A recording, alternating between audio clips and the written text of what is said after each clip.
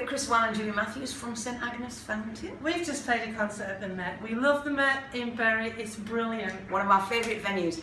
And there's a fantastic campaign going on to refurb the Met, to make it that, uh, if it can be any more special, but just to give it, for a start, to give us some nicer dressing rooms, um, to, to have more seating out And there. to bring you more music. and it's already a world-class venue, but let's make it that little bit more of a world-class venue. Come on, chip in.